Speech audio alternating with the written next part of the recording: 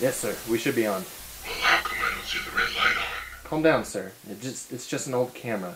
I'm sure it's recording just fine. Son, don't you ever tell me to calm down again. I give the orders around here, and don't forget it. Yes, sir. My bad. Let's get this shit started.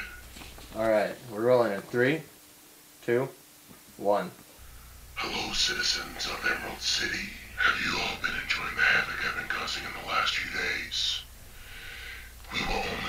slaughtering if we are given a sum of two billion dollars. Until then, I hope you say goodbye to your loved ones, because they might be dead the next time you see them.